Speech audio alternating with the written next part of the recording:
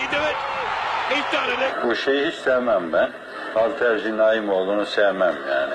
Şahsi esrafına maruz birisi. Terörist başının bu nefretinin nedeni meğerse yediği tokatlarmış. The greatest exhibition of lifting. Fethullah Gülen'in 1990 yılında dünyaca ünlü milli halterci Naim Süleymanoğlu'nun MİTçi akrabasından dayak yediği ortaya çıktı. Fakat milletimiz hesabına gidince ben de oturup halterini seyrediyorum. Bu şeyi hiç sevmem ben. Halterci Naimoğlu'nu sevmem yani. Şahsi esrafına maruz birisi.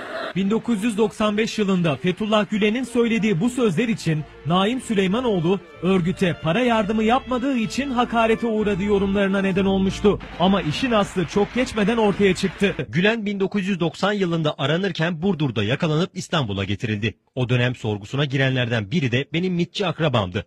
İfadesinde şeker hastasıyım, tansiyon hastasıyım demiş. Sonra Ankara'dan bir telefonla serbest kalmış. Benim akrabam da dayanamayıp birkaç tokat vurmuş. Akrabam olduğunu öğrenince bana karşı olumsuz haberler yaptırmaya başladı. O dönem Naim Süleymanoğlu tarihi başarılara imza atmıştı ve bu yüzden Fethullah Gülen akrabasından dayak yediği Naim Süleymanoğlu'nu sohbetlerine çağırmış ama red cevabını alınca Süleymanoğlu'nu hedef almış. O dönemlerde hem koruma polisim hem de tanıdıklarım bunların şovuna alet olma diye beni uyardı. Ben de toplantılarına hiç katılmadım. Toplantılarına katılmadığım için de beni hedef seçti. Tekliflerine hayır deyince bana kafayı taktılar.